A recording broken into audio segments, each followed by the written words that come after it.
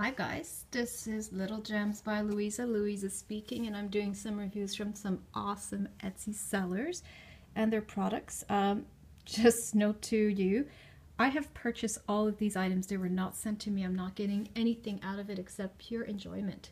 Um, this gorgeous purse, can you see it how gorgeous this is? The quality is just beautiful. I've been stalking her like a crazy woman. Rustic Moon series. Hi Heather. I got my purse yesterday. I'm so excited. And Heather threw in this adorable little wallet that opens up. And of course, I'm fighting with my left hand, but essentially it opens up. And I'm going to put all my stupid point cards that I can never find in here. And I'll be able to find them again and again and again. But look at this gorgeous leather. So I never splurge on myself. I'm always buying things for others.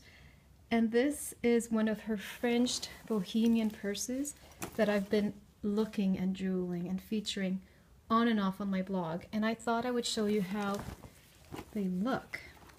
What's great is there's a, a beautiful magnet high quality clasp. Can you see how hard I'm having a hard time with one hand opening it?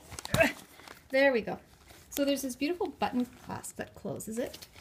It's not lined, which actually I don't mind. I thought I would, but I really don't. Uh, it's really voluminous. So there's space in here for me to put in, obviously, my wallet and my kid snacks and a change of clothes and a book and probably a little bag of knitting because that's what I do on the side. But it's beautiful. The color is spectacular. It's like a caramel toffee and, um, you know, meets chocolate or burnt almond.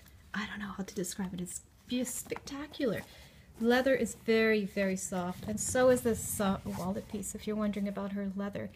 I've actually purchased uh, some leather scraps from Heather, and I can tell you that she uses high-end stuff. Uh, I also think that she underprices. But uh, if you are wondering whether or not you should buy one of these gorgeous purses, please do, because one day she's going to raise her prices and you're going to miss out on a great buy. So here, sorry Heather, Rustic Moon series. It came in a beautiful box wrapped up very simply with tissue paper. And if you're trying to find